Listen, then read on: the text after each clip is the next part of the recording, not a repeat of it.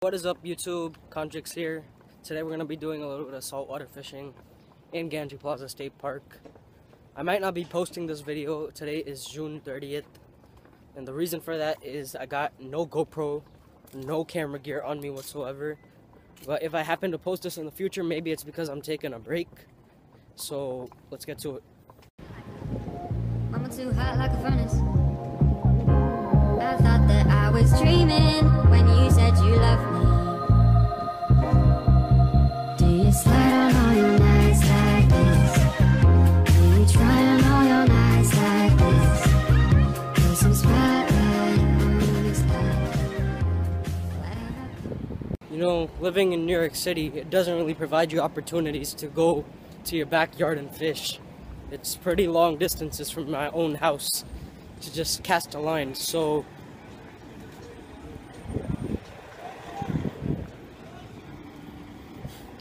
yeah. So as I was saying, this walk it's a pretty long walk. I'm talking it's more like two miles.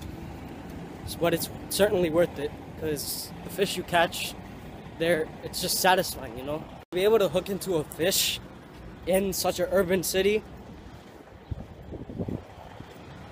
it's pretty it's pretty it's pretty satisfying it kind of takes you to nature you know i don't talk too much about it but the types of species that are in the east river it could actually vary because our river is kind of like an ocean which means all the fish come in with the tide the types of species we have are mostly striper bluefish porgy around july to august summer flounder winter flounder croaker kingfish tautog it's it's endless. It's literally endless.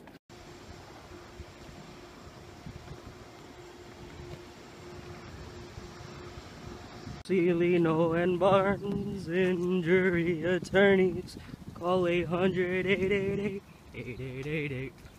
Don't wait, guys. Call 8. You guys ever just walk and you feel like something's at the bottom of your foot? So you go and you check the bottom of your foot and you see a freaking piece of glass. Totally relatable, right?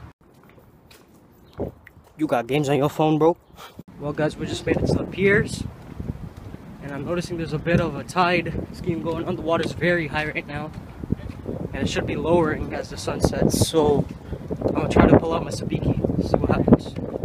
Well, guys, I tried out the sabiki rig. There's not much luck there, so I'm gonna switch to a cup bait rig.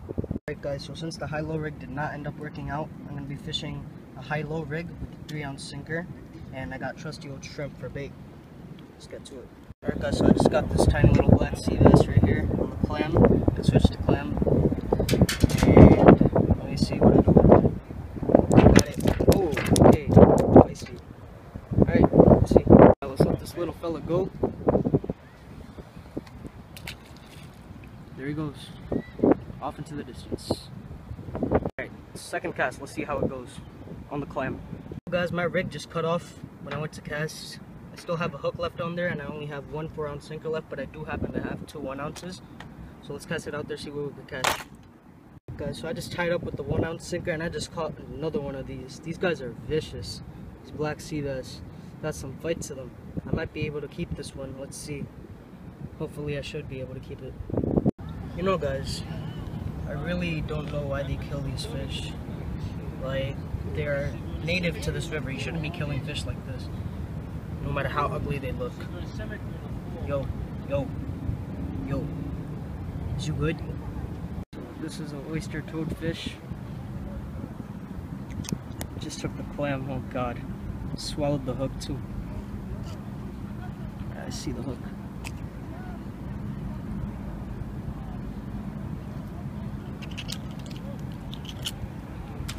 There he goes. Only caught one fish. So guys, that wraps up this video. I had an amazing time fishing. Although I did not catch any striped bass, it was an amazing success. I met someone there and this guy, he is so generous. We talked for about an hour while I was fishing and he was the person next to me while I caught the oyster toadfish. He gave me $20. $20 in respect. $20 for just being there and fishing. He's like, I love fishing. I do it with my son all the time. Guys, you don't know how much New York City fishermen are appreciated by people.